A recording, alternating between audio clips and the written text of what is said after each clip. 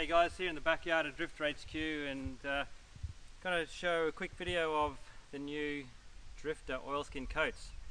So uh, this is our, our second version. Been playing around a lot with them last few months and uh, now we've got it to where I'm really happy with it. So just thought I'd show you. It's warmed up a little bit since last time I did a video. It was freezing cold before. But um, yeah, so that's the coat there.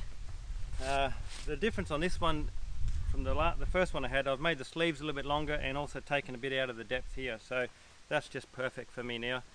Um, now I'm six foot tall, slim, tall and slim, and uh, this coat here I've got on is a small. Alright, so I'd normally be an M but uh, there is a size chart that we're going to put on the website. Um, but yeah I'm, I'm wearing a uh, an S at the moment. So it just fits me perfect. I had the uh, the medium size before when I was out bush a little bit doing some different things. Up in the tops doing the respect the bush video. I had a lot of coats underneath it. Uh, but you know and it would fit it okay but it was always a little bit big. So this one's just fitting me a lot nicer. I can still wear a jumper underneath here. Uh, so I'm basically an S. Um, yeah, so pretty much uh, these are made in, in Brisbane. Alright, the material on the outside is uh, is from Wax Converters Textiles down in Rutherford. Our good friends James and his company down there. So we buy this material directly from James from the source. James has been making this wax converted uh, Waxcon material uh, for over 40 years. The original manufacturer of this material and uh, something pretty cool also is the internal liner this is also, this is the unwaxed uh, material. Same material, but unwaxed. Okay, you see a pocket in there. Also a pocket internal on this side here. Great for your phone. Alright, so I'm not sure if anybody else is doing it like that with a original Australian unwaxed internal lining and the waxed outside lining. The press studs we're using are also Drifta ones so all the press studs have got the Drifta you know logo one pretty cool. And so we've got pocket at the top here breast pocket. We've got a pocket here great for your keys or your phone. And also you've got side pockets there for your hands. So it's great. You can put your keys in here on the top on the outside and have your hands warm in here like that. Uh, all the coats are going to come with this liner. It's not a sheepskin, it's a synthetic material. Okay, we, we could use uh, a lamb's wool, but you know, there's it gets very expensive and quite difficult to work with. So, you know, um, and also, you know, if lamb's wool gets wet, it, it, takes a while to dry. This is synthetic, but it's very warm. You know, if I was going up Barrington Tops now, if I had the vest and also this coat, uh, I really wouldn't need much else, you know. So uh, they are very warm. The liner you can take out, as you can see, just unbutton it out. And you know, the other night we were camping as well, and it was just a little chilly, so we'd actually just pulled the liner out and wore it as as a vest, which you can also do. So that's the coat.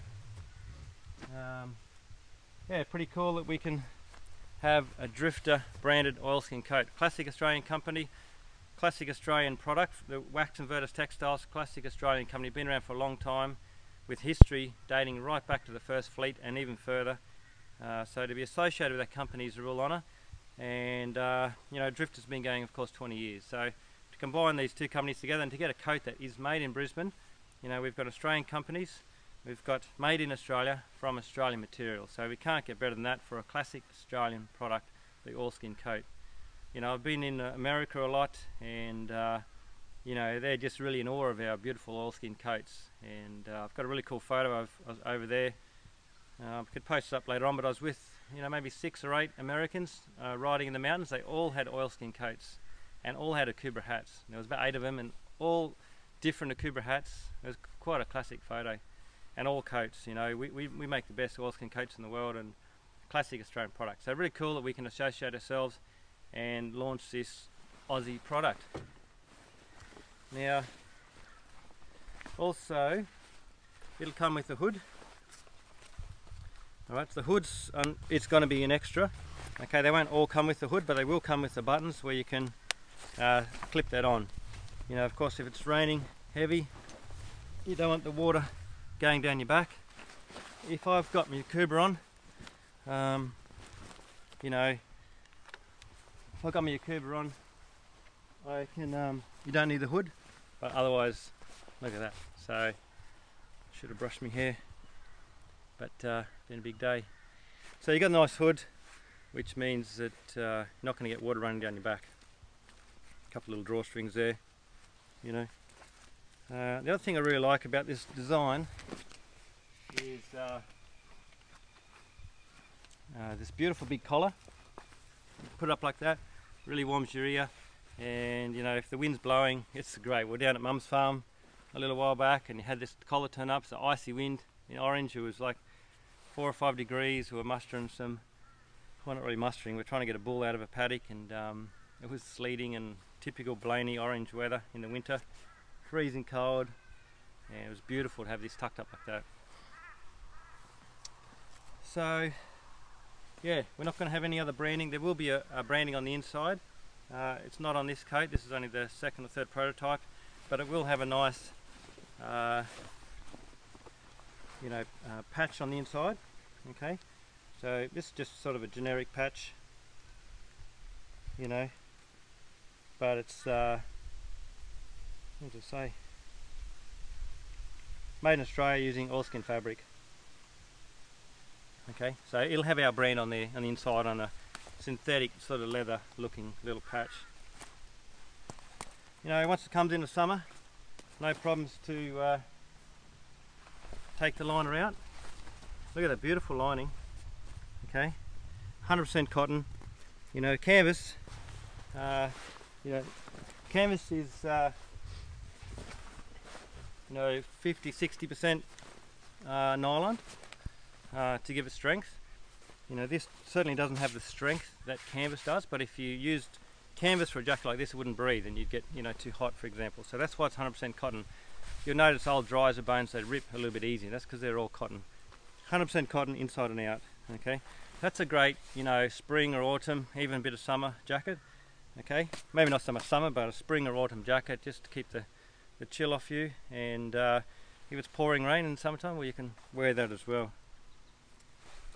So that's it, yeah, nice clip out uh, liner. Oops.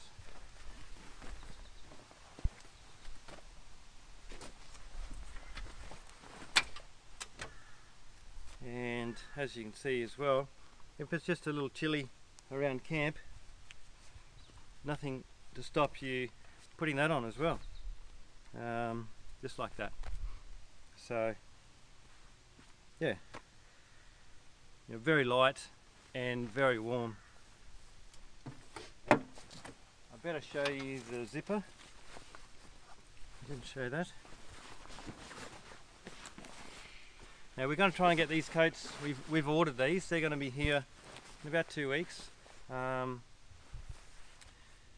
we've ordered them. We're going to try to get stock available in the three stores: Gosford, uh, Brendale, and HQ store. We'll have a rack made up with the main sizes and maybe even in our new uh, Heatherbrae store that might be coming.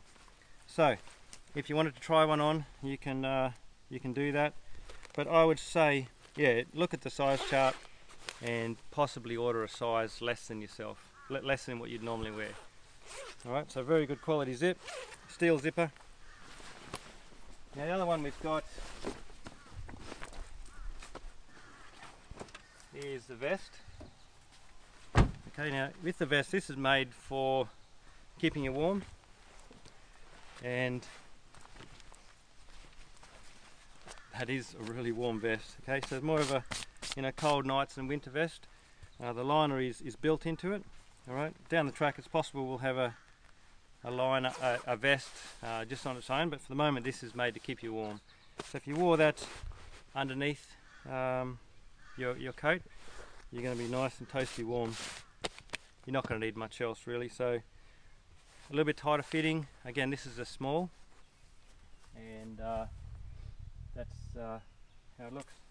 Still got a nice big collar, and yeah, pockets two pockets here, a little bit more simple. And if I wanted to combine that with a coat, I still could. And if it's the middle of winter, if I was at the Barrington Tops now, like only, you know, I think it was only, was it last weekend or two weeks ago? Two weeks ago, there was about three, four, well, two or three inches of snow at the Barrington Tops. If I had my liner and this here, I wouldn't need anything else. And being slim, I feel the cold, but uh, that's all I would need, you know. So, and you know, this has still been a small, both both a small size, still plenty of room to to fit this. Uh, you know, I don't like wearing a bulky, really bulky jacket, so it's just slim enough for me, um, but I can still wear something underneath.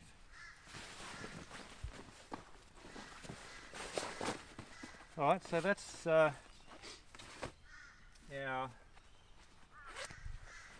dries it, that's not dries it. So that's our, our oilskin coat range, the Drifta oilskin coat. And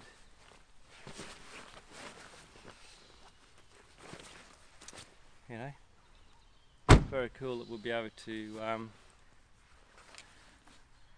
release these and have them available very soon. We will try and keep sizes in stock as best we can, but uh, from sizes from 2XS to 4XL, there's a lot of sizes. Keeping stock in four locations of all those sizes is, you're talking 50 grand just to carry, you know, a few in each size. So the worst case is going to be um, a back order and we'll order it, but you know, they're getting made very close in Brisbane. Um, they, they've got a pretty quick turnaround. So the worst case, it might be a week or two weeks to, to get your coat. A little bit like the, the seat covers we get, you know, they've got to be ordered. So um, if we don't have a, a, size in stock, it won't be long to be able to get it. Righto. What I was going to do is, um, actually while we're here, this is the axe I had the other day. And a lot of people were commenting that's a um, Keech axe. So this is sort of actually, a mate of mine gave this to me. I was working as a, a timber cutter really in the, the Cadia gold mine near Orange. And it was funny, I was, I was working as a, as a station hand really on a big property there at Cadia and uh, I was mustering sheep, watching the drillers come in and then maybe 12 months later I was working um, for a company, Austrim, um, and we had to clear all the trees from, from the big hill where, where they now have, have open cut mines. So made of mine there, Mick, he gave me this axe and it's sort of Keech's uh, classic Australian axe. It's it's really, uh, they make these for the, um, you know, the axemen at the Sydney shows, like a, a racing axe. Um, and it's quite old. So yeah, pretty cool. I got Kai to clean it up the other day and put an edge on it and, you know, beautiful old axe. So, you know, if you're chopping in the in the show, look at that.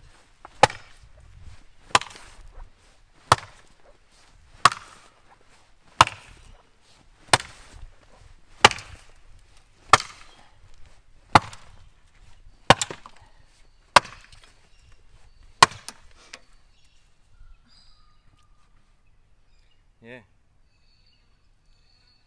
beautiful axe. So,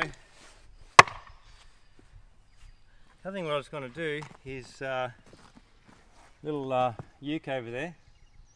It's actually the same as one of these. It's, these are just a cabbage gum. Nice looking tree, but the timber's not that good.